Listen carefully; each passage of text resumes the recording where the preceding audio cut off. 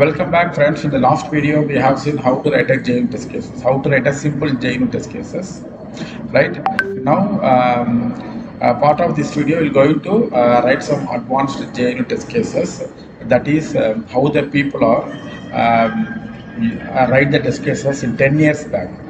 10 years back. For example, let's say um, I want to um, uh, test my uh, business logic. I have written some business logic. I want to test uh, test that business logic, but the business logic code tightly coupled with tightly coupled with uh, my database. Without a DB connection, my that business logic never work. But I want to test only business logic without connecting the DB. Okay, how do we achieve this? But today we have a lot of testing framework like uh, Mockito, WebMEC. Okay, using those framework, right? We can bypass them uh, DB connection without a DB connection, without depending on the DB layer. We can test particular piece of code. But 10 years back, that is not the case because we don't have such a framework. We don't have a um, uh, Mockito and uh, like that framework. We have to do everything manually um, at that time how the people are achieved this kind of uh, scenario that part we're going to cover okay? See this is my product controller class. This product controller class depend on product service okay?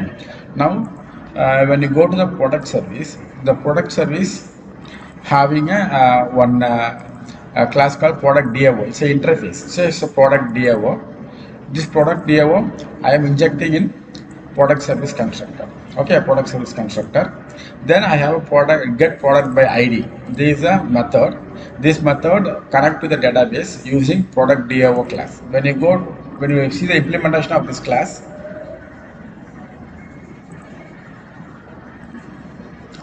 product DAO IMPL implements product DAO. Here I auto wire entity manager. This through this entity manager I am connecting database. Through this entity manager I am connecting database and whatever uh, product ID I am passing in this method that will return uh, corresponding product. I am achieving that using entity manager find. I am passing product dot class then product ID.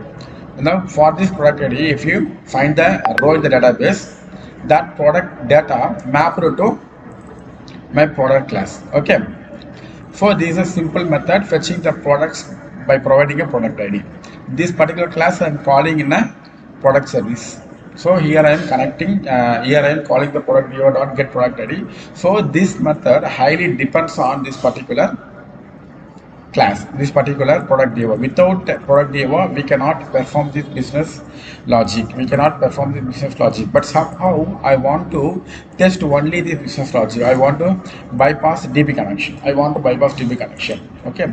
So using Mockito, we can implement this scenario very easily. But without Mockito, how to do that? That is the question here. We will going to implement that part now. Okay. Now I'll going to uh, uh, show the demo the real scenario. It, that meaning it will connect the DB and fetch the DB, fetch the data. Okay.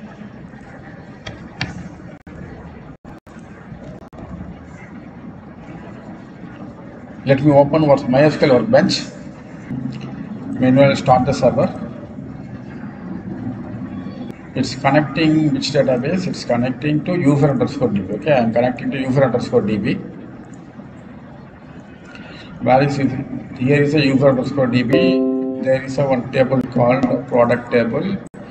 When I uh, select row,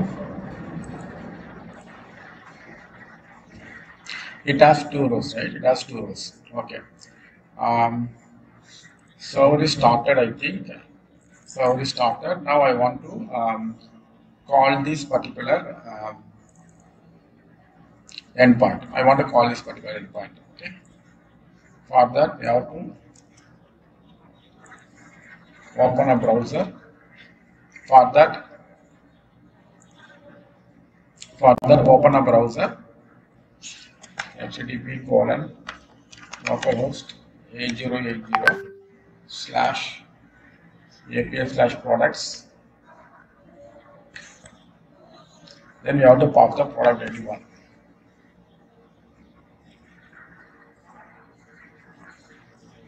I think uh, it's a port is 9091.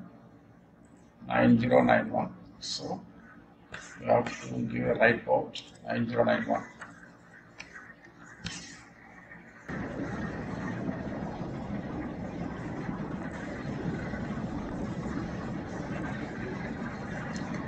API slash products.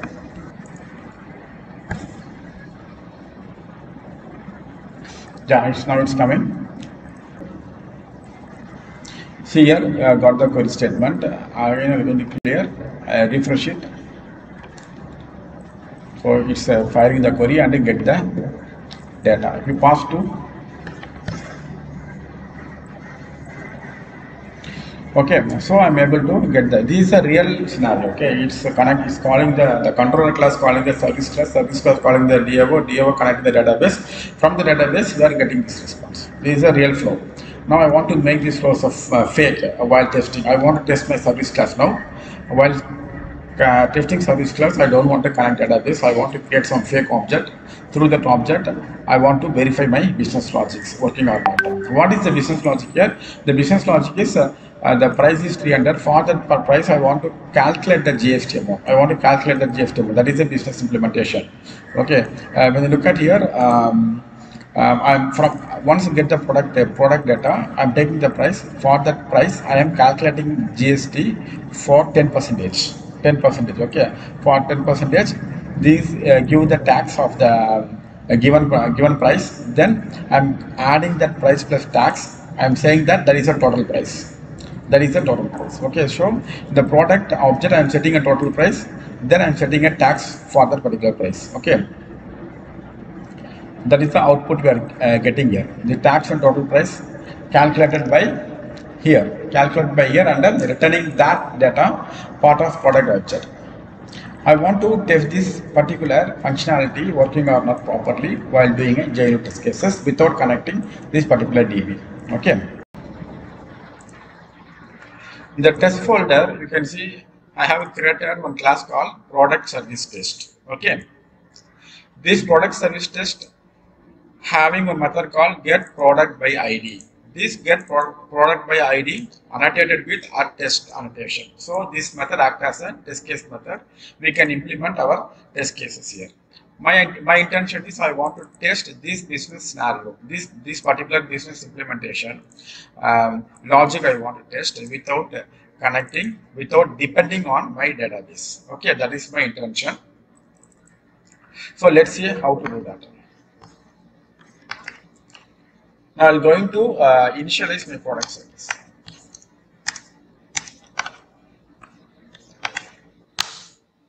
Product service, then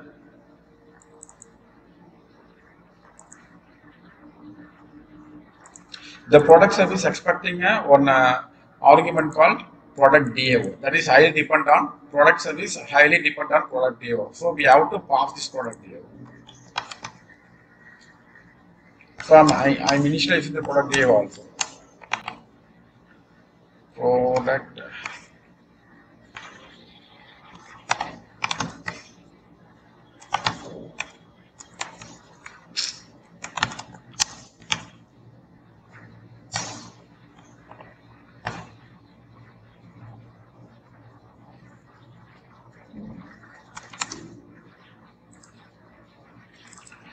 Now I'm passing this product DAO in my product service constructor.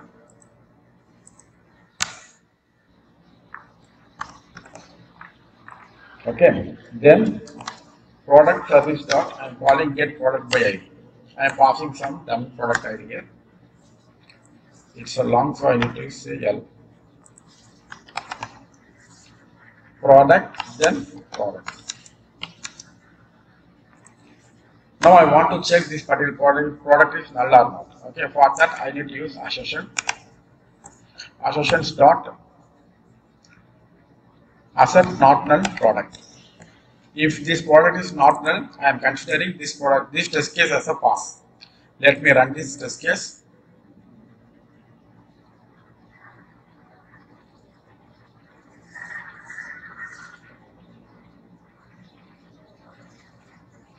So now it's a test case is failure. It's a null pointer exception. What is null pointer exception? When you go to product DAO IMPL, the entity manager is a null because this is coming from Spring context. This is coming from Spring context. But when you look at this code, I am not at all using any Spring context. This is just a normal Java code. I am initializing a product DAO. Then I am initializing a product service. The product service, I am passing this product DAO. This product DAO using the entity manager, right? The entity manager is coming from uh, Compact. That is not available. That's the reason I am getting null point exception. So how to test this particular business service, uh, business implementation by fixing this error. Let's see now. Here I am calling the real product DAO IMPL. This real product DAO IMPL connecting the database. I, do, I don't want to connect that. Okay. For that, we need to create one mock object. For that, we need to create a one mock object. When you look at the test folder, there is a one class called mock product DAO IMPL. Mock product DAO IMPL. Let me open that class. This mock product DAO IMPL implements product DAO. Implements product DAO. If you see the real product DAO IMPL, that class also implements product DAO. So my real real class as well as a mock class implement the same interface. The mock product IMPL uh, are implementing that method which is defined in the product DAO. The same get product ID. Here I am creating some dummy products. I am creating some dummy products without connecting database. Without connecting database, I am populating a product object. I am setting some dummy value, one coffee and description, then 300. Finally, I am returning the product. In the test case, I am initial, I, I have to initialize that dummy project instead of real uh, real product DIY DAY mock product DAY When you say like this, what will happen? This mock product DAY reference assigned to my product DAO interface object, product DAO interface object. Then I am passing this DAO in my service class, in my service class. When I go to the service class, now this product DAO contains my mock product DAO IMPL class. Okay, so whenever you call product DAO or get product by ID, it will call from this product by ID method. Okay, whenever you call this method, what will happen? Since the product DAO contains a reference of mock product DAO IMPL, this will call this method call from here. This will call from here. Here I am not connecting with database, just creating a one dummy product with the proper values, with the proper values.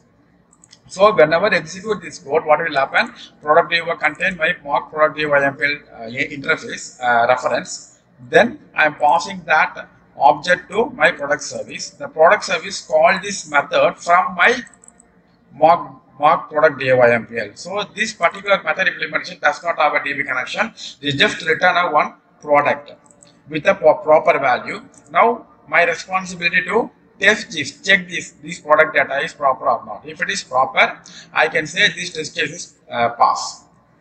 Okay, now we will go to uh, test our scenario. What is my intention to test? I want to check this particular uh, business logic working or not, right? The mock uh, product DAO I am populating uh, 300 as a price, 300 as a price, okay? When you pass 300, we need to uh, calculate tax as well as a uh, total total price of the product. Okay, what is the tax amount uh, uh for the 300? 300 into 10 divided by 100. So 30 rupees a tax amount. Okay. 30 rupees a tax amount. I am going to check here. Assert assertion dot assert equals the expected value is 30. We have to check with actual values. Product dot get tax. Then total price assertion dot asset equals expected value must be 300 plus 30 right? 330 hmm? 330 expected must be 330 then 330 with the product sorry product dot get total price. Now I'm going to test this method.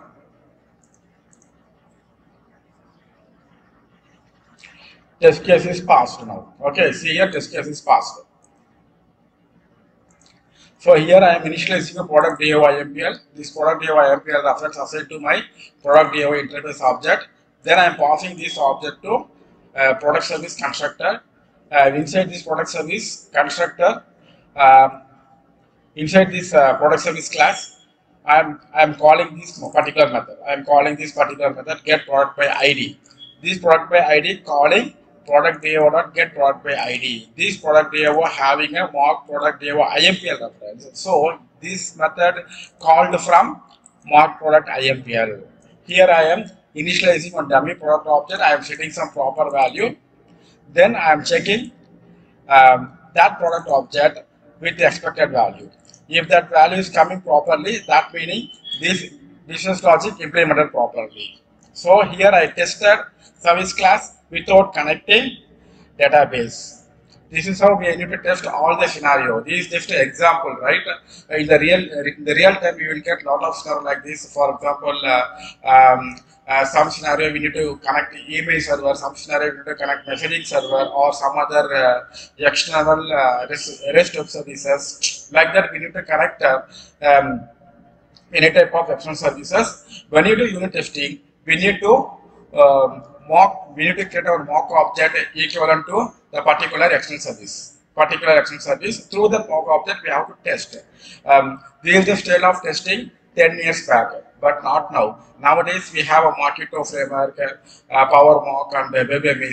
Through the through those framework, we can create a mock object dynamically. We don't have to write. We don't have to write this kind of mock object. That is the advantage of Mockito. If you're not using Mockito, if you want to follow traditional approach, we need to write a, a lot of mock object. Through that mock object, we need to write our test cases. That is very tedious process and a time-consuming task. Time-consuming task. To eliminate this kind of uh, problems, we need to use Mockito framework. Okay, but using Mockito framework, we can easily mock object without writing any additional code. Okay, um, from the next class onwards, we're going to see how to work with Mockito. Then before that, we need to um, study one more topics, which is um, JUnit assertion framework. We have a lot of assertion framework. Through the assertion framework, we can check the expected value or the action value. There are many assertion framework available. We need to uh, study about that. Then we will start learning Mockito framework. Okay through this uh, example, right? Through this example, you understand that what is the real usage of uh, interface. This is the one of the interview question also. When you will go to interface, this kind of scenario we can use the interface. If you want to create some mock object, you can easily um, create a mock object using interface. Okay. Still not subscribe this channel? Please subscribe it. Share this video to your friend circle click bell icon for regular updates. Thanks for watching this full video.